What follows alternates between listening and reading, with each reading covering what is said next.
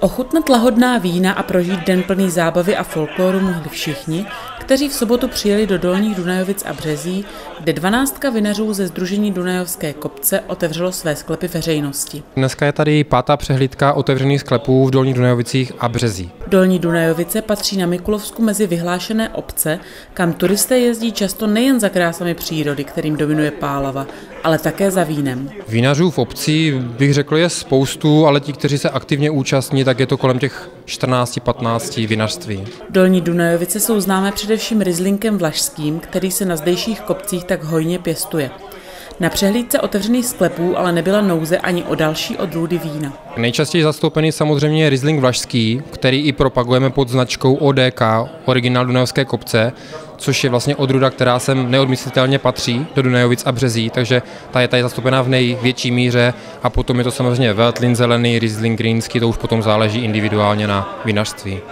A v této oblasti se pěstují většinou bílá vína nebo spíš červená? Eh, většinu bílá vína, ale pěstují se tu i modré odrůdy a ve velké oblibě je i výroba samozřejmě růžových vín z těch modrých odrůd. Přestože návštěvníci přišli a přijeli především za vínem, nechyběl ani nezbytný doprovodný program.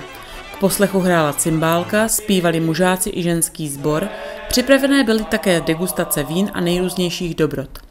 Příchozí mohli ochutnat domácí paštiky, škvarkovou pomazánku, zelňačku nebo několik druhů sírů. Co jste si pro návštěvníky dneska přichystali?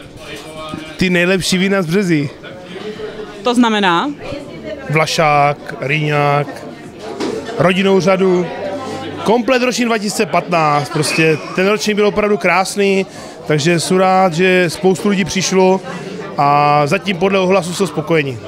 Budete pokračovat i příští rok v této akci? Pokračujeme, je to pátý ročník a pokračujeme dále. Jo, nastartovali jsme to vlastně před pěti rokama, první tři ročníky byly takové trošičku slabší, ale loni jsme vlastně přesunuli termín a bylo naraz nějakých 13 lidí, takže letos jsme dali strop, 12 účastníků, bylo vyprodáno před prodej, takže super a chceme tomu pokračovat. Jo. Nechceme dělat takovou masovku, jakože vozovka budou prostě všude naplněno, nedostali se na lidi, aby vlastně neměli ten kontakt s vinařem, takže ten, ta myšlenka trošičku jinak, aby ty lidi měli vlastně kontakt s vinařem a ochutnat si, podívat se, pokecat a zatím to vypadá dobře. No. Lidi jsou spokojení, vína jim chutnají, super. Co už jste všechno ochutnali? Cecko. Jak se vám tady dneska líbí? No, jsem úplně uchvácený, nadšený. Taky jsem nadšený. Výborný to tady je. A co jste už všechno ochutnali? Byli jsme v Březí, tam jsme všechny pět sklepů mm, ochutnali.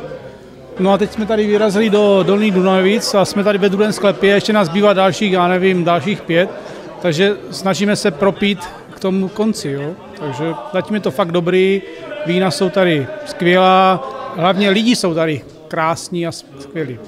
Co vám chutnalo zatím nejvíc? Uh, Martin Šebesta určitě a Pálava. Vinaři, kteří své sklepy už po páté otevřeli veřejnosti, si pochvalovali letošní hojnou účast.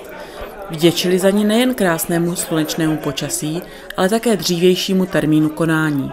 Co jste si jako vinařství připravili pro návštěvníky? No tak hlavně víno. A potom je tam nějaká speciality jako na grilu a škvarková pomazánka a tak dále. Na jaké víno se specializujete? na všechna bílá vína, růžová a červená, ale zejména Riesling Vlašský je naše vlajkovou lodi. A co lidé? Přijde vám, že jich hodně, málo? Jak to vidíte? No dneska mně přijde, že jich hodně. Čím si myslíte, že to je? Tak určitě tím, že je to pátý ročník, eh, pořád bych řekl, že to nabaluje, každý rok je těch lidí víc a víc. A taky počasí nám přeje, vyšlo to opět, teda po pátý za sebou. Takže asi tím, ale myslím, že kdo to pořádá tuto akci v jiných vesnicích, tak prostě zatím ten trend je takový, že každý rok je těch návštěvníků více. Začátky byly takový eh, divoký, nebo zjišťovali jsme spíš od těch, co už to dělali před náma, jak na to, ale každý rok se zjišťuje nějaký nedostatek, ten se snažíme další ročník eh, eh, vymyslet nebo na, obejít, nahradit a Určitě je to, je to vývoj, taky se předělal po třech letech ročník, datum pořádání, posunulo se to o 6 týdnů dřív, vlastně tady ta akce, protože zdá se nám, že kdo to dřív udělá, tak těch návštěvníků chodí víc asi z jara, než potom začátkem léta. Jsou asi natěšení na víno.